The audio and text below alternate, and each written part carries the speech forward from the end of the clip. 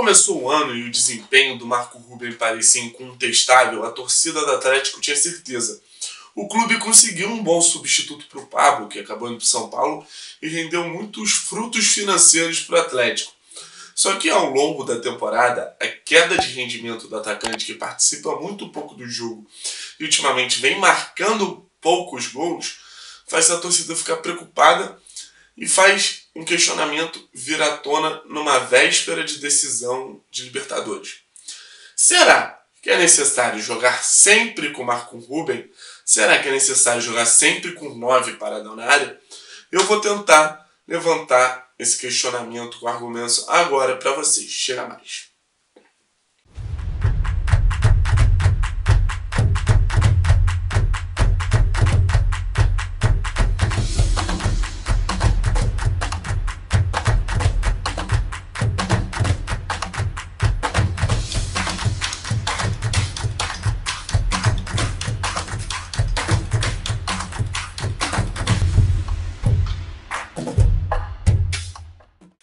Voltei nos melhores momentos de Boca e Atlético, um jogo de ida, para tentar caçar argumentos, porque eu já vinha com essa impressão, já tinha falado no vídeo do Amistoso contra o Cirro, que o Ruben participa muito pouco do jogo. Pode ser uma referência, pode em alguns momentos prender zagueiros, pode em algum momento ser útil no pivô, enfim, outras situações de jogo que não sejam marcar gols.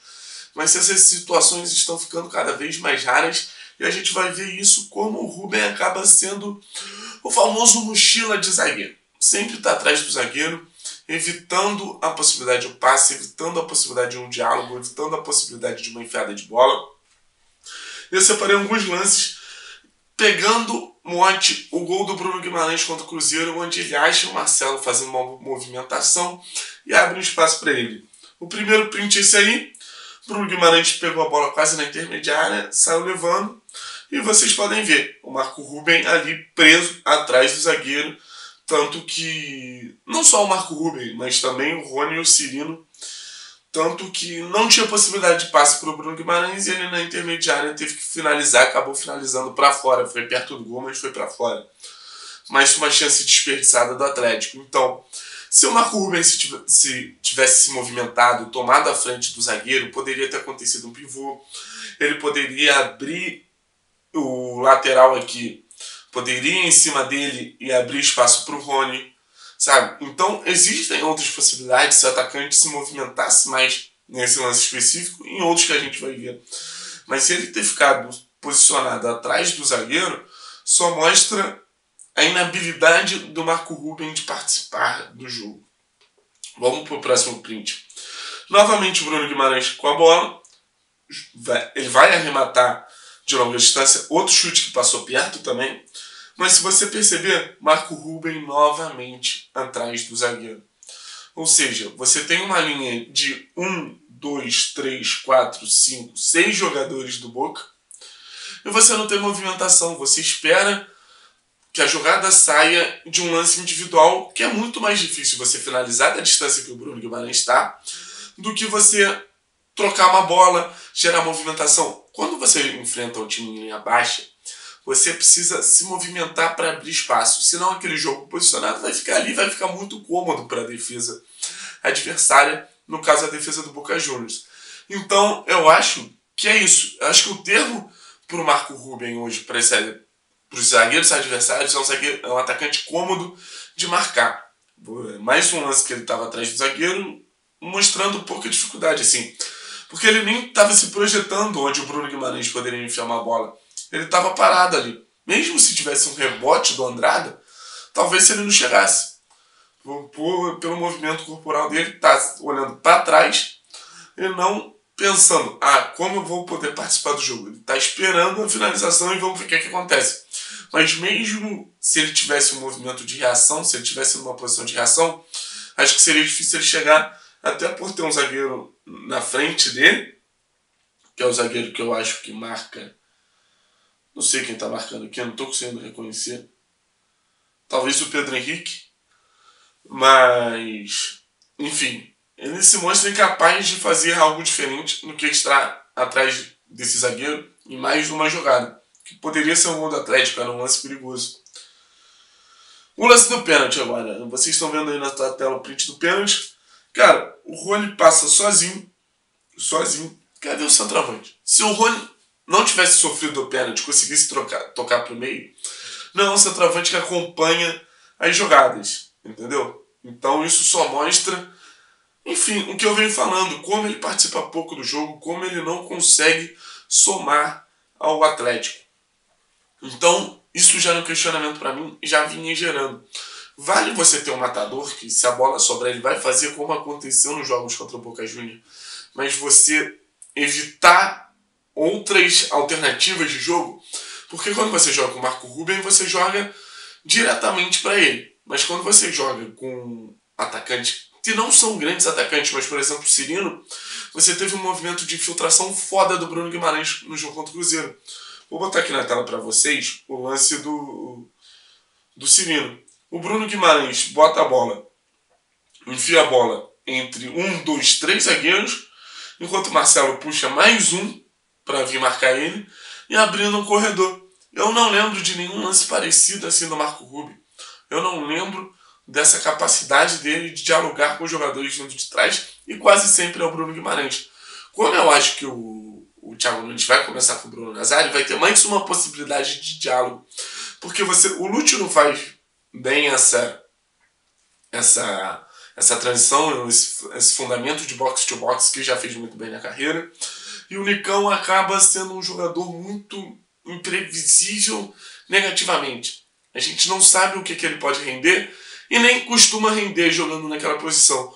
Então, quando você tem Nazário e Bruno Guimarães, você tem essa entrada na área dos seus meias mais constante. Então, para isso, eu acho mais apropriado a entrada do Cirino como 9, não como ponta. Botaria Nazário, Nicão aberto e Marcelo jogando na frente, principalmente pelo fato do Boca jogar é, com bloco baixo. Não vai jogar como, por exemplo, jogou o Flamengo, onde saiu o gol do Rony, jogando com linha alta. Se o Boca jogar com bloco baixo, vai ser mais difícil ainda penetrar na defesa do Boca Juniors.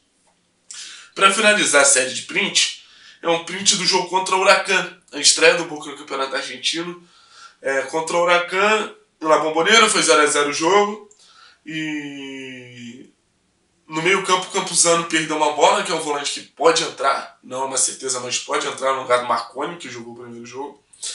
E o, saiu em contra-ataque rápido o Huracan. Algo que já vinha acontecido no 3 a 0 na Arena. O Boca perde algumas bolas no seu meio de campo e você precisa ter é, velocidade, você precisa ter imediatismo para matar a jogada. Nessa jogada você tem um 3 contra 2, que é algo muito provável acontecer contra o Atlético. Você pode ter o Rony de um lado, o Nicão de outro, Sinino com a bola, Nazário com a bola. Mas se você tiver com o Ruben, a incapacidade dele de ser rápido, de ser veloz, de ser, enfim, meticuloso com a bola, de ser mais malandro, vai acabar matando a jogada. Então acho que esses prints são um dos argumentos que mostram. Eu não jogaria nessa decisão com o Marco Ruben. É um grande atacante, é um matador, mas dá muito pouco para o time. Agora a gente vai ver alguns números que provam mais ainda a incapacidade dele de criar, de dialogar, de ser plural, de jogar para o time. Ah, mas não é para jogar para o time. Mas esse tipo de jogo, como o Atlético vai encarar o Boca Juniors, precisa jogar para o time. Eu vou pegar uns números agora para a gente trocar uma ideia. Então, depois do sprint que vocês viram, peguei como recorte o Campeonato Brasileiro.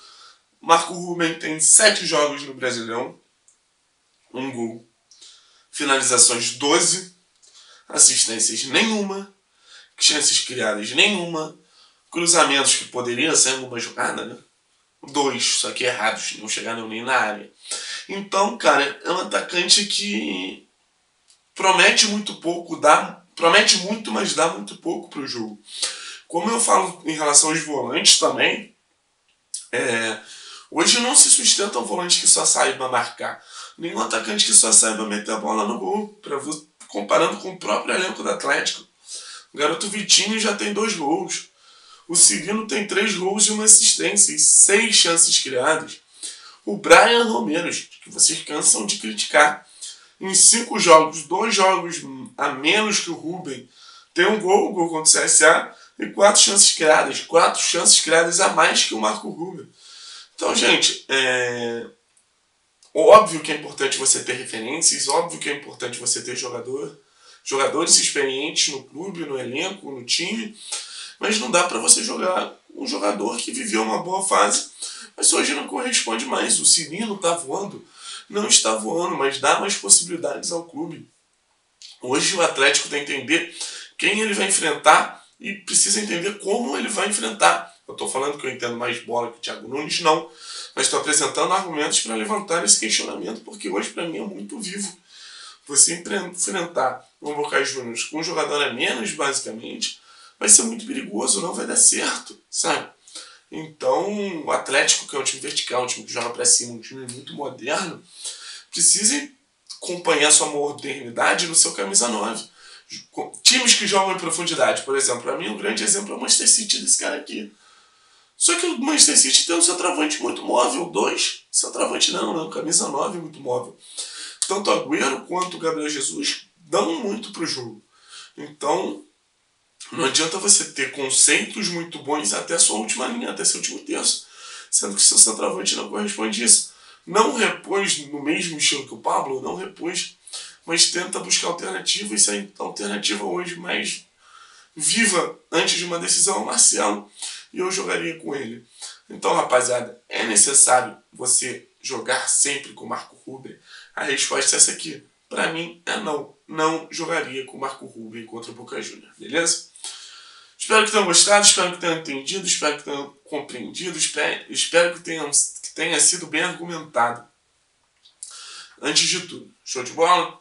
Espero, enfim, que a gente ganhe do Boca, espero que o Rubem, se for o caso, marque 4 gols, o Cirilo marque 5 gols e que a gente se classifique. Mas se existe hoje uma falha no time do Atlético, ou o Marco Rubem melhora, ou vai ficar insustentável jogar com.